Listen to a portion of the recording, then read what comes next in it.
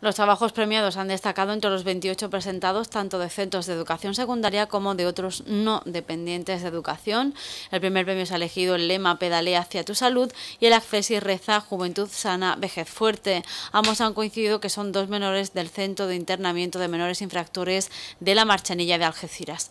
Forma Joven nació con el objetivo de acercarse a aquellos espacios que frecuentan los jóvenes y adolescentes, tanto centros educativos como otros espacios de encuentro juvenil. Es el ámbito educativo donde esta estrategia interinstitucional ha tenido una mayor evolución y permanencia con relación a la inscripción de centros y actuaciones dirigidas a promover entornos y conductas saludables entre la gente joven, pero en los últimos años se ha ampliado a otros centros no dependientes de la Consejería de Educación.